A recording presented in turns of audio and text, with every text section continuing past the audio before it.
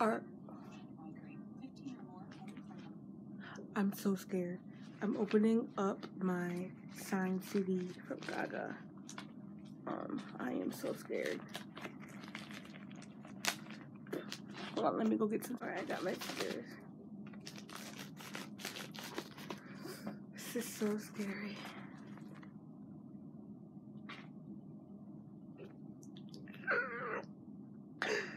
I was so scared. I'm scared. Ah, this is really the worst. I paid 22 for this. Oh my god. Oh my gosh.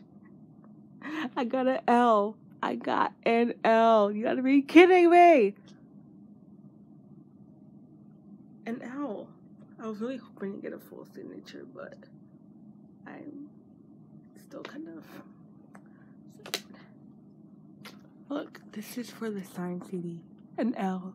You gotta be kidding me. An L. I was really hoping to get a full signature, but you know, it is what it is. Someone just please. To the gods.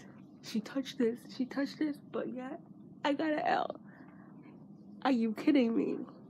But yeah, I have two CDs. This is the one with the sign thing on it. But um, and now, what did y'all get? Comment below on what you got.